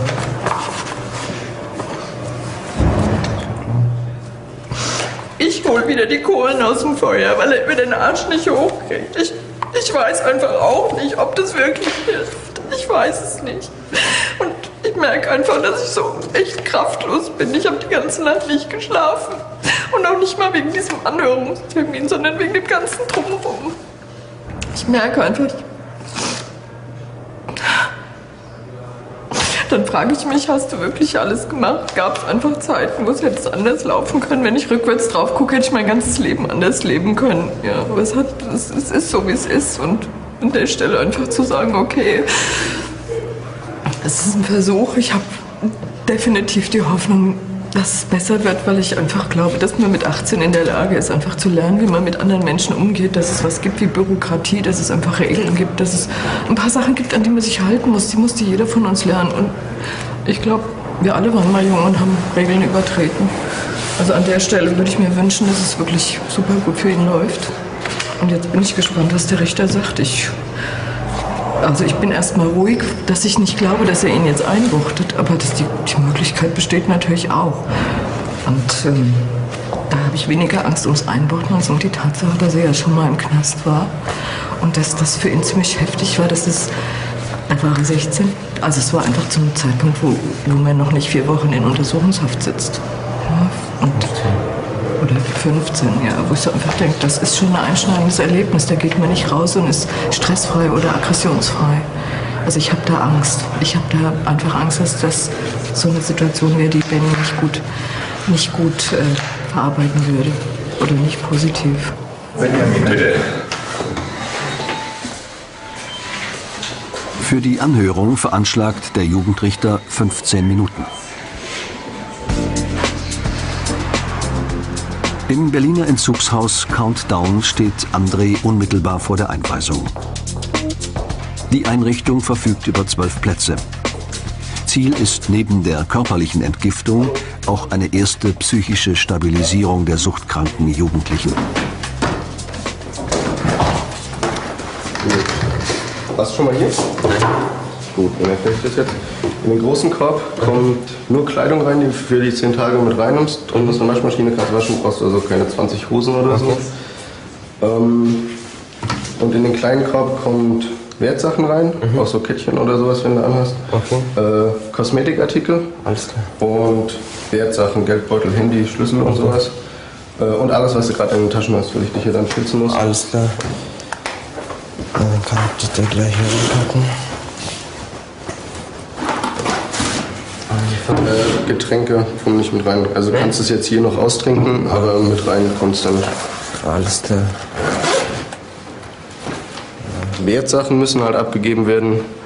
Ähm, also teure Kettchen oder so, damit nicht die Möglichkeit besteht, das da drin in irgendeiner Art und Form zum Tauschhandel oder sowas vielleicht zu benutzen.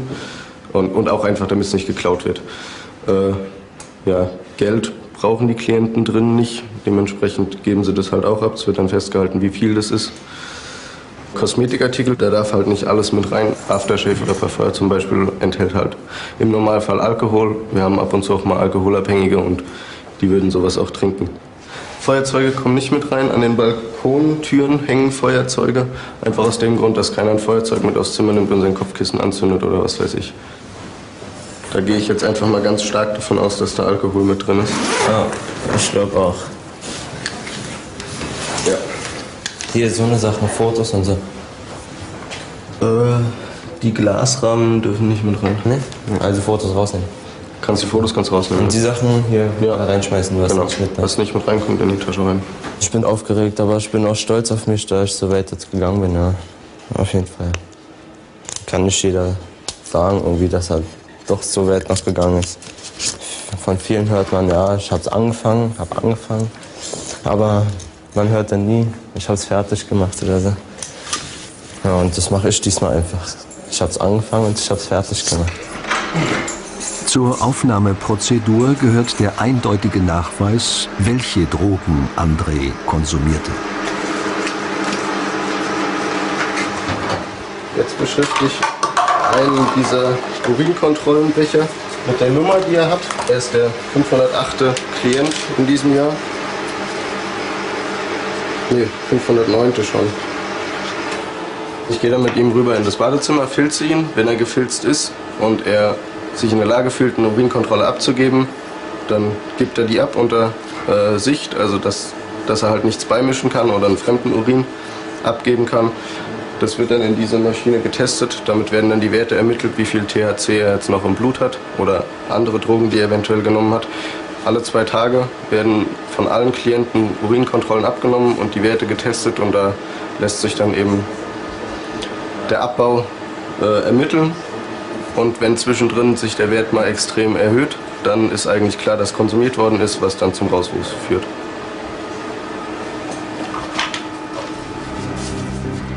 Die Anhörung vor dem Jugendrichter endet mit einer Überraschung. Falls Benny seine bevorstehende Therapie erfolgreich absolviert, erlässt der Richter ihm 30 Sozialstunden. Ich dachte nicht, dass er sagt, dass er mir noch was erlässt. Ich hätte eher gedacht, dass er sagt, ah ja, machst die 80 Arbeitsstunden dann noch hinten dran oder er packt noch mal ein paar drauf dafür, dass ich es nicht gemacht habe oder so. Das hätte ich mir jetzt schon eher erwartet, aber dass er das so macht, hätte ich nicht erwartet, aber auch okay. Wenn er diese Therapie abbricht, und dann wird er die vollen 80 Arbeitsstunden ableisten müssen. Und wenn er sie dann nicht ableistet binnen kürzester Zeit, wird Beugearrest verhängt. Skepsis ist eigentlich immer angebracht bei Drogenabhängigen. Die sind sehr schnell mit Zusagen dabei, erklären sich zu allem Möglichen bereit. Äh, Das Durchhaltevermögen ist wenig ausgeprägt, so meine Erfahrung. Taschengeldausgabe in der Jugendpsychiatrie der Rheinischen Kliniken in Viersen. 15 Euro stehen den Teenagern pro Woche zur Verfügung. Die meisten geben das Geld für Tabak aus. Rauchen ist auf dem Balkon gestattet. Auch Körperpflegemittel müssen die Jugendlichen von dem Budget selbst bezahlen. Bitte schön. Wunderbar. So. Es ist ein Übungsfeld. Steckt immer ein Stück Versuchung damit drin, aber es soll ja auch trainiert werden, wieder Verantwortung zu übernehmen. Dadurch, dass die meisten ja auch so viel Geld zur Verfügung hatten, ähm, teilweise auch durch, durch kriminelle Beschaffungen, dass die sich natürlich auch wieder runterschrauben müssen und versuchen müssen, damit auszukommen. Tim und Tabata haben zwei Stunden Ausgang. Die 16-Jährigen sollen lernen, auch außerhalb der Suchtgruppe Drogen zu widerstehen.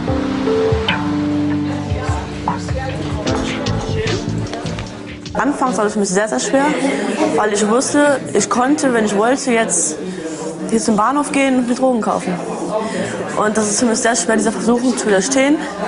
Nur ich habe mir so überlegt, was habe ich denn davon? Wenn ich jetzt da hingehe mit Drogen nehme, okay, dann habe ich vielleicht einen Rausch.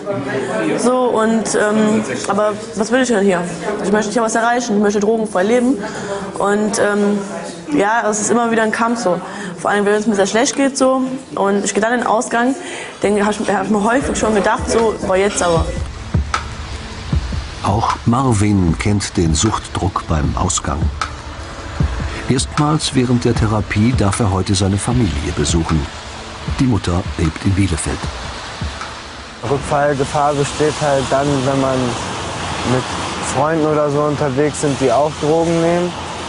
Ja, aber ich bin jetzt auch noch nicht so stabil, aber wenn ich jetzt einen treffen würde, dann würde ich trotzdem wahrscheinlich Nein sagen. Sicher bist du dir nicht? Nein, nicht so ganz. Bevor Marvin die Therapie in Viersen begann, war er in verschiedenen Heimen untergebracht. Die Mutter wusste sich mit dem drogensüchtigen Kind nicht anders zu helfen. Noch immer macht sie sich große Sorgen.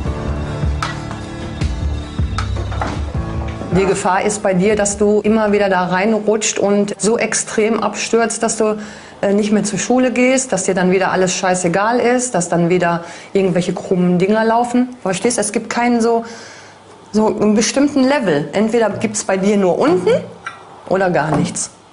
Dadurch, dass wir viel erlebt haben und dass es immer wieder Rückfälle gibt, ist es einfach so, dass man, dass man skeptisch ist.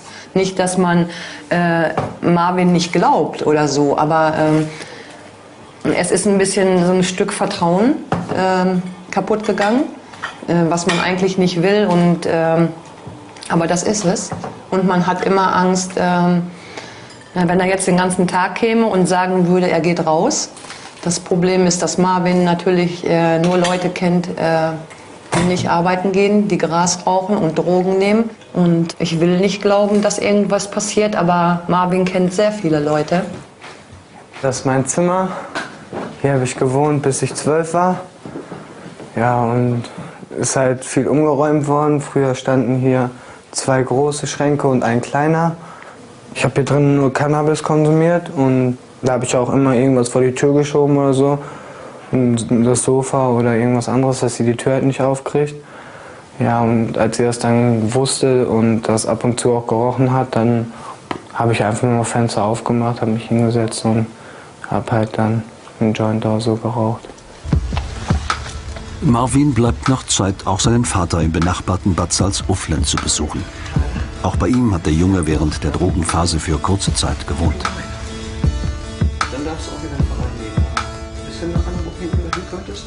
Das Schlimmste und Krasseste war eigentlich die Zeit in den fünf oder sechs Wochen, wo er hier bei mir gelebt hat. Ja, wo er mich belogen, betrogen, auch beklaut hat. Wo er nicht zur Schule gegangen ist und ja, wo ich eigentlich dieses ganze Ausmaß zu Gesicht bekommen habe. Für beide Elternteile war es schmerzlich einzusehen, dass ihr Kind drogenabhängig geworden war. Marvin ist meiner Meinung nach immer ein Typ gewesen, der äh, ja so ein bisschen Mitläufer war, der sich auch äh, anstecken lassen hat von anderen Leuten, wenn die gesagt haben, komm hier, mach mal und hier und so. Und äh, da ist er immer, immer, immer sehr schnell drauf eingegangen. Ich denke mal, als Vater hat man auch irgendwo Vorbildfunktionen. Und wenn man dann so nur alle 14 Tage an den Wochenenden sieht, natürlich ist das zu wenig. In der Suchtklinik in Viersen steht für Tim heute Beschäftigungstherapie auf dem Programm. Die Heranwachsenden können sowohl in einer Tischlerei als auch in einer Schlosserei arbeiten.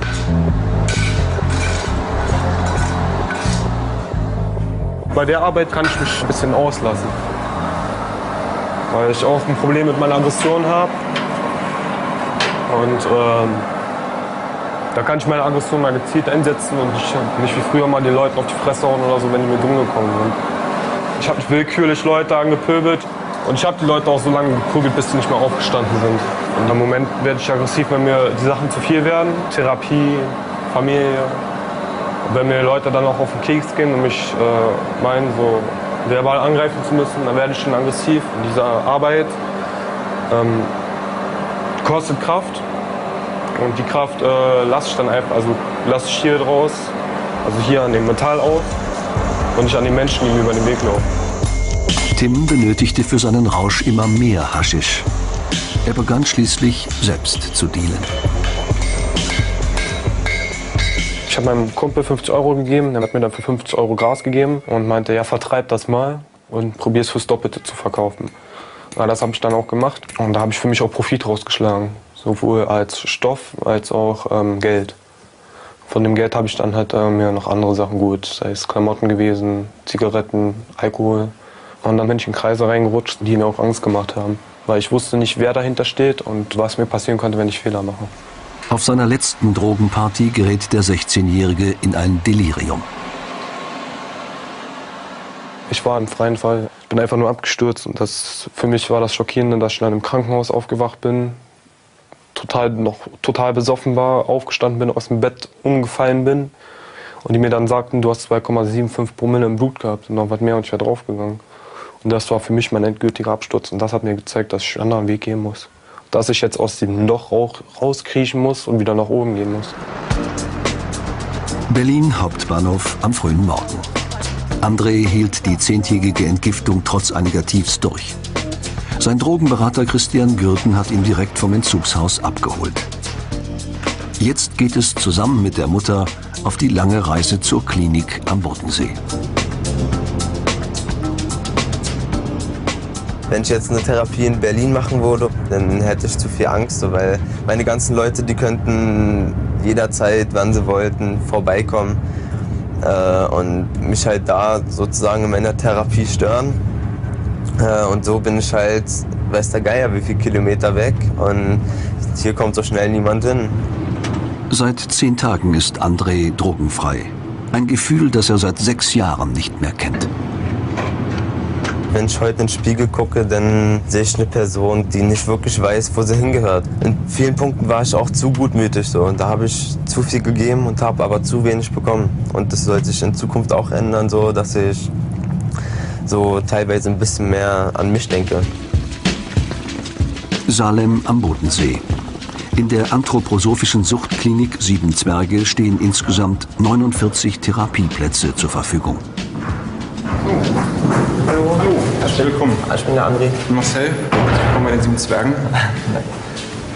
Hallo. Ja, hallo André. Cornelia, wir haben telefoniert. Ich leite die Aufnahme. Schön, dass es klappt hat, dass du herkommen bist Ja. und hoffentlich auf ein guter gemeinsamer Weg. Marcel führt André durch das Jugenddorf. Der 24-Jährige ist selbst Patient und wird dem Berliner Neuankömmling als Pate zur Seite stehen. So.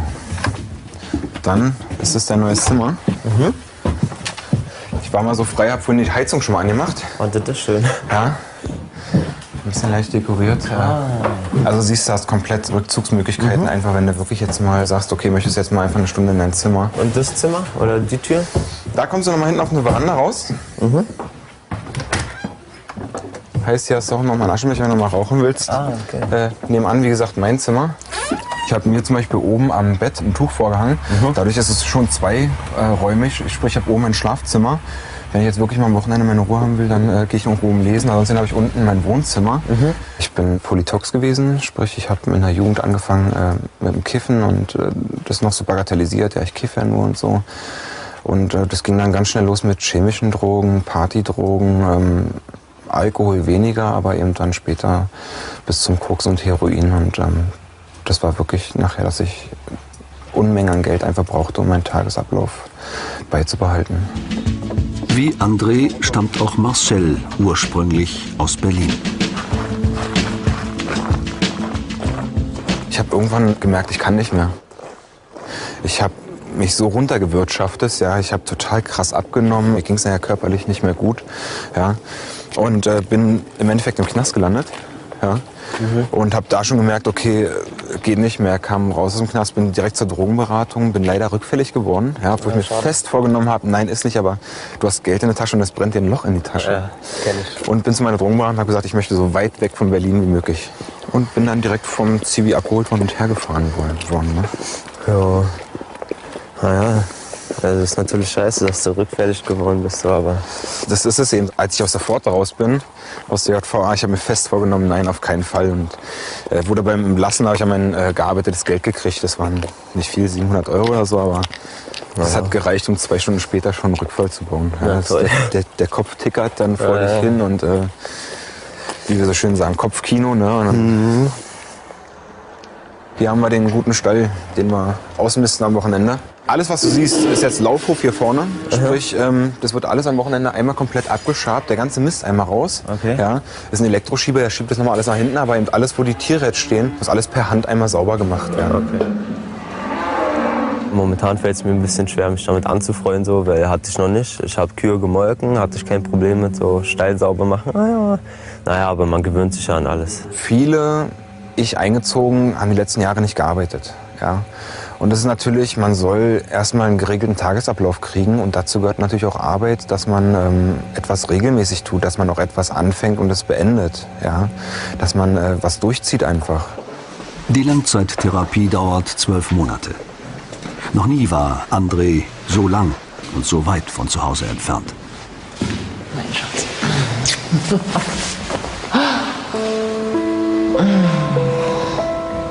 Dankeschön, dass du mitgekommen bist. Na klar. Das war wichtig für mich. Ich weiß, wo du untergebracht bist. Ich weiß, wie es hier ist. Und jetzt weiß ich erst recht, dass du schaffst. Alle glauben an dich, alle denken an dich. Du schaffst das.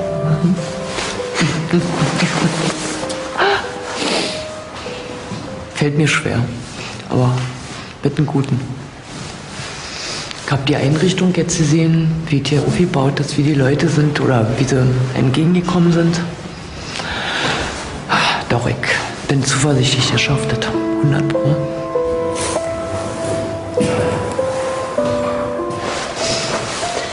Aber naja, ich weiß, dass es schafft und ist gut.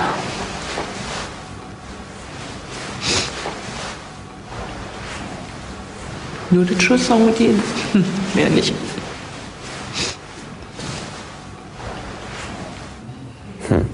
Ich weiß nicht, ja. Irgendwie so von der Gegend hier ist das echt 1A, so, aber ich weiß nicht, ob ich das auf lang durchhalte, wie das hier ist irgendwie. Aber ich gebe auf jeden Fall mein Bestes und ich denke schon, dass ich stark genug bin irgendwie.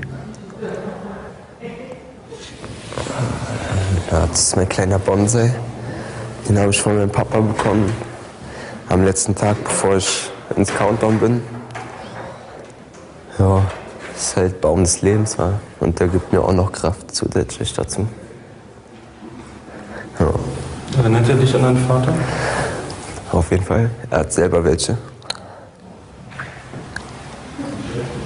Ja. Auf jeden Fall. Vor allem die Kontaktsperre in den ersten Wochen ist für alle Neuankömmlinge sehr schmerzhaft.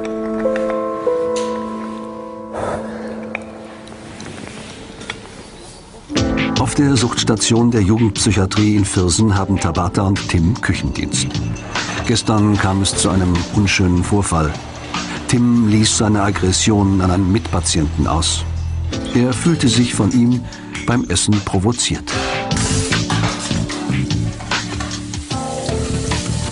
Dann sagt jemand zu mir mit einem Ton, den ich hasse wie die Pest, so, Tim Butter. So, und äh, dann meinte ich halt zu ihm, ob er das mal ordentlich sagen könnte, so, ja, Tim Butter. Da habe ich mich natürlich aufgeregt und Tabata wollte mich beruhigen, so, und dann bin ich natürlich nicht drauf eingestiegen. Bin natürlich ausgerastet, hab rumgefuchtet wie so ein Blöder mit meinen Händen. Ja, und ich gesagt, der Wichser geht mir sowas von auf den Keks und hab die Butter so gegen die Tür geschmissen. Ja, und in dem Moment kam er derjenige rein, der mich in dem, in dem Moment so auf 180 gebracht hat. Ja, und dann wollte ich halt, äh, ja, er wollte auf mich los, ich wollte auf ihn los. Und glaube, wäre Tabata nicht da gewesen, so den beruhigt, so wäre hier, glaube ich, Mord und Totschlag gewesen. Und er hat dann total rum mich voll angemotzt, wo ich gar nichts getan habe, so. Ähm, von mich angeschrien und so, und ich kann das gar nicht haben, wenn ein Typ äh, mir gegenüber so, äh, so, ist auch größer wie ich, und dann Händen vor mir rumfuchtelt, so, das kann ich gar nicht haben. So, und, äh, ja, und der warf dann genau an meinem Gesicht die Butter vorbei, so, und dann habe ich wieder aufgeregt, so, wegen der Handbewegung zu mir, so. Ja, und dann haben wir ähm, total gestritten, weil ich das überhaupt nicht abhaben kann, so. War sauer auf ihn, aber da ich ihn sehr gut kenne und weiß, dass er eigentlich nicht so einer ist, sondern dass es einfach zu viel geworden ist im Moment, habe ich ihn verziehen. Ich habe ihn auch voll gerne so.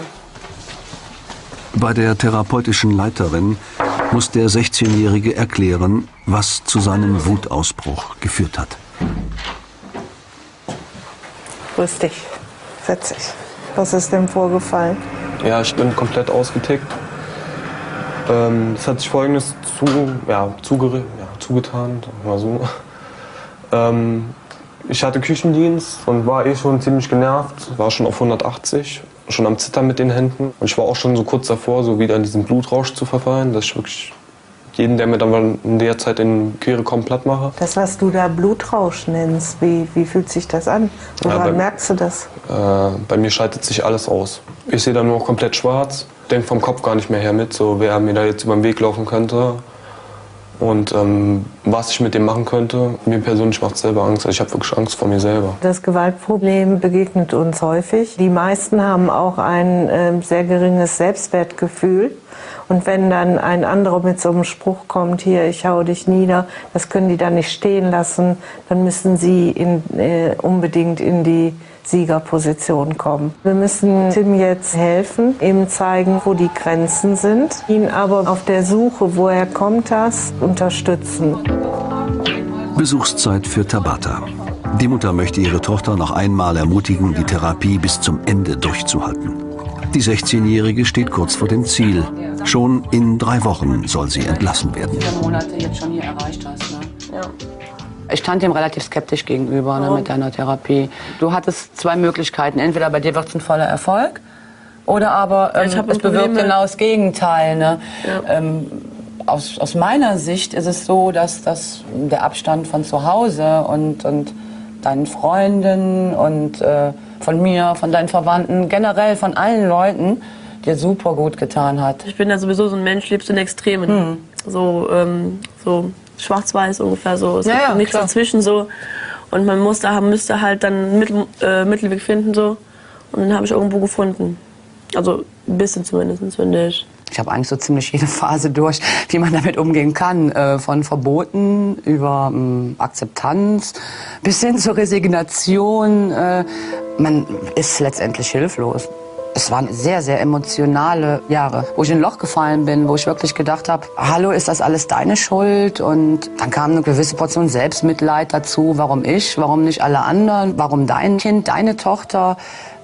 bis ich irgendwann an einem Punkt war, wo ich gedacht habe, damit hilfst du ja am wenigsten, wenn du dich jetzt noch selber bemitleidest, weil ähm, ich bin die Erwachsene und sie ist das Kind letztendlich und äh, wenn ich schon nicht weiß, wie, wie gehst du damit um und, und wie kannst du ihr helfen, wie soll sie es dann selber für sich können?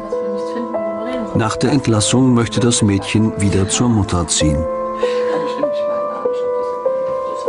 Ich habe Schuldgefühle gegenüber meiner Mutter, weil ich sie auch natürlich sehr verletzt habe und sie sich oft Sorgen gemacht hat und Nächte nicht wusste, wo ich war. Und ähm, ja, also ich äh, denke, ich habe sie sehr verletzt und tut mir ziemlich leid. Und ich versuche einfach, meine Mutter stolz zu machen, soweit wie es in meiner Hand liegt. Der Michaelshof in Kirchheim-Bolanden ist auf suchtkranke Männer zwischen 18 und 32 Jahre spezialisiert. Bennys Arzt hat ihn in diese Fachklinik überwiesen. Gestern kam es in der Familie noch zu einem Streit. Die Mutter befürchtet, dass ihr Sohn die Therapie nicht antritt. Ich habe mich nicht verabschiedet. Sie ist gekommen und hat mich abgeholt und hat mir im Auto erst gesagt, dass ich heute Abend nicht mehr heim kann. Im Grunde habe ich mich gar nicht verabschiedet. Auch von meinen Freunden konnte ich mich nicht verabschieden. Leider Gottes. Fühlt dich so ein bisschen rausgerissen jetzt, ne? Äh, Das war immer so. Das war bei meinem Vater so. Das war in grundsätzlich jeder Schule so, in der ich gewesen bin. Außer, außer, außer im Gymnasium, wo ich dann zu meinem Vater gezogen bin. Da habe ich dann einmal eine Abschlussfeier noch machen dürfen vorher. Aber ansonsten war es immer so, dass ich aus, aus, dem, aus dem Bereich rausgerissen wurde und irgendwo anders hingesteckt wird. Und nicht viel dazu sagen durfte oder konnte. Wenn er jetzt sagt, er hat sich nicht verabschiedet. Wie hättest du das denn machen sollen? Du sagst zu mir, äh, ich kann dich morgens abholen oder mittags abholen, dann können wir nach Darmstadt fahren und noch die restlichen Sachen Nein, ich habe nicht gesagt, wir gehen Und nicht das hole nach ich dann morgen Darmstadt. früh um sieben ab. Nein, Und das habe ich nicht gesagt. Äh, So habe ich es aber verstanden. Nein, so ich habe. bei mir angekommen. Nein, Benjamin, das habe ich nicht gesagt. Das ist ja wirklich auch eskaliert gestern Mittag. Er ist ja wieder abgehauen und hat gesagt, er geht. Und dann habe ich gesagt, ich hole dich morgen früh nicht in Heppenheim ab, dann sieh zu, wie du hinkommst. Ich fahre dich nicht. Was kannst, wenn ich jetzt äh, gehe, dann fährst du lässt mich du morgen mich früh bitte nicht. auch mal Egal, ob ich abends wiederkomme oder nicht. Lässt du mich bitte gesagt. auch mal ausreden, danke.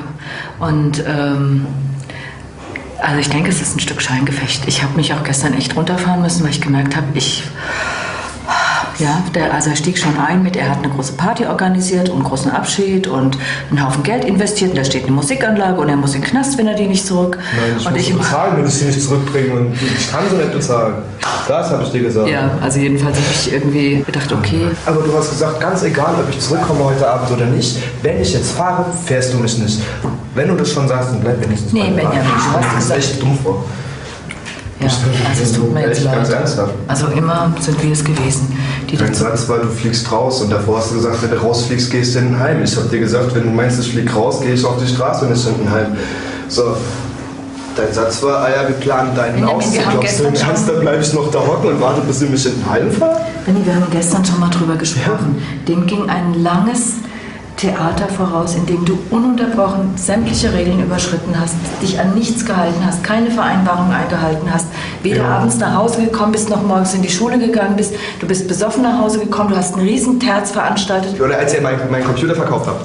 Äh, oder was heißt verkauft habt? Ihr habt den der Luisa geschenkt und Jakob. Möchtest du jetzt alle Geschichten? Ja, nein, aber ich finde, ich finde, ich finde, wenn du, wenn du, wenn du, wenn du anfängst, wenn du anfängst mit irgendwelchen Sätzen von wegen äh, das und das und alles, was ihr sagen, wäre wär, wär im Grunde nicht so und eigentlich ist es ja ganz anders, dann frage ich mich, was will ich eigentlich hier? Weil ich habe gesagt, ich will die Therapie, aber nach, laut dem, was du sagst, wäre wär, wär das ja irgendwie gegenteilig.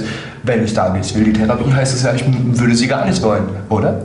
Die Konflikte, die jetzt äh, sichtbar sind, das sind ja eigentlich ganz natürliche Autonomiekonflikte, die es überall gibt, die nicht immer so offen und so heftig ausgetragen werden, aber die wir alle erinnern, wenn wir so an die Phase denken, als wir unsere äh, Ursprungsfamilie verlassen haben. Wichtig für uns ist herauszufinden, welche Rolle haben die Suchtmittel denn in der zerfahrenen Situation gespielt. Das ist meine Mutter, das wird sie auch bleiben. Ich werde sie auch lieb haben weiterhin, aber ich will nicht, dass sie sich weiterhin in irgendwas einhängt. Die Chance, da einzumischen, die hat sie sich verbaut. Ich bin da sehr realistisch. Das ist für mich nicht das, äh, die Eintrittskarte fürs Paradies, was hier läuft. Ich glaube, ist eine Möglichkeit und wenn er sie nutzt, wunderbar, weil es letztendlich seinem Leben dient. In meinem Leben verändert es nichts mehr. Also in meinem Leben bleibt Benny der, der er ist, egal wie viele Schritte er vor oder zurück machen wird.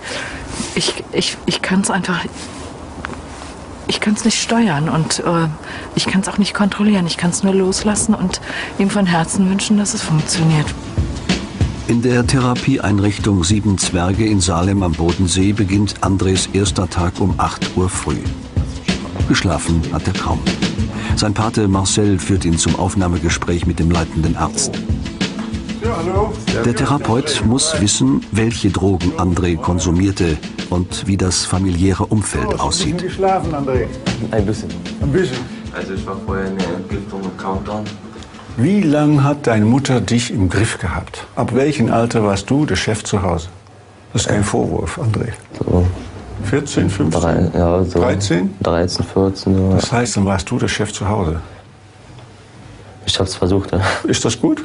Nein. Nein, das siehst du jetzt auch ein, oder? Ja. Oder wenn mit 14 schon alles reich keine Grenzen hat. Richtig. Kann das schief gehen? Natürlich. Das heißt, standst du auch eigentlich relativ alleine da? Ähm, ja, also meine Eltern waren halt immer noch für mich Natürlich. da. Aber Natürlich. so im Großen und Ganzen. Im Großen und Ganzen ab Ich hab- 13, 14. Das klingt nach einem jungen Mann, der es eigentlich nicht gut geht, oder? Nicht zufrieden ist. Na, früher habe ich immer so durchs Kiffen oder auch wenn ich keine Zigaretten hatte, bin ich immer so ein bisschen wütend geworden und habe immer in meinem Zimmer gegen die Wand geboxt. Und so. Ja. Auch mal ausgerastet? Äh, ja, aber ich habe nie jemandem wehgetan, außer mir selber. Wieso? Was hast du dann gemacht? Naja, immer nur gegen die Wand geboxt oder auch mal so geritzt. Das heißt, wenn du einen großen Stress hast, dann hast du das versucht auszugleichen durch gegen die Wand zu hauen oder Ja, zu ritzen. Bevor ich irgendjemand anderem wehtue oder so, tue ich lieber mir selber weh. Was machst du mit deiner Wut? Ich fresse die mich hinein und versuche Ja. die einfach drin Ja. zu lassen und nicht mehr daran zu denken. Und was passiert, wenn du das weiter so machst? Dann platze ich irgendwann.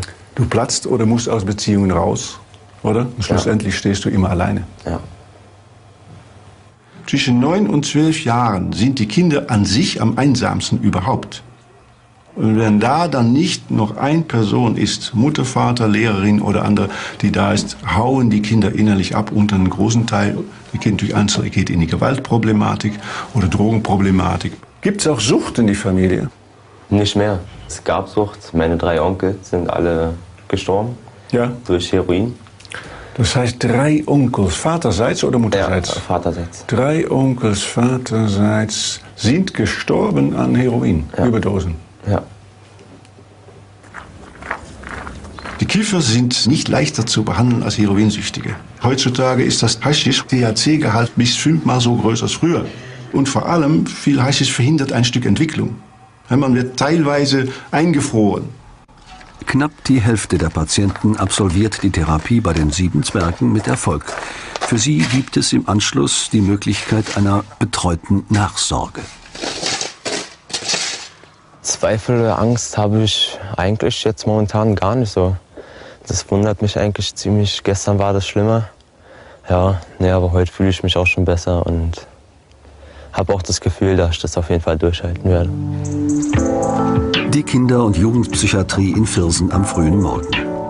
Abschied für Tabata. Trotz vieler Zweifel und zahlreicher Rückschläge hat sich die 16-Jährige durchgebissen. Es ist ein erster Schritt in ein hoffentlich drogenfreies Leben.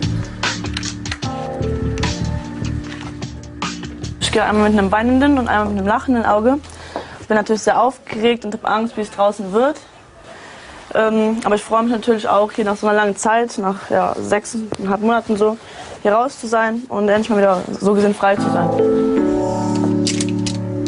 Tabata möchte den Realschulabschluss nachholen, später als Sozialpädagogin arbeiten. Meine Therapie war sehr hart. Es gab viele Auf und Abs, so dass ich dann tagelang hier saß und geheult habe und äh, gar nicht mehr wusste, was ich tun soll. Dann gab es wiederum Tage, an denen ich äh, ähm, freudestrahlend rumgelaufen bin. So, und, ähm, aber ich bin dankbar, dass ich diesen Weg gegangen bin. Und ähm, auch wenn es mit viel Schmerz verbunden war, aber im Endeffekt ähm, hat es mir eigentlich nur Gutes getan. Für Mutter und Tochter ist es ein Neuanfang. Auch zu Hause wird Tabata weiterhin eine ambulante Therapie aufsuchen. Ja. Ja, Ist das jetzt alles? Nee, ich hab da noch was stehen. Du hast noch was? Ja. Ich bin aufgeregt, nervös und ähm, sehr gespannt, was, was die Zukunft bringen wird. Auf der einen Seite Freude, auf der anderen Seite auch ein bisschen Angst und äh, man muss sich ein bisschen an die neue Situation dann gewöhnen. Es war schon eine lange Zeit, es war ein halbes Jahr.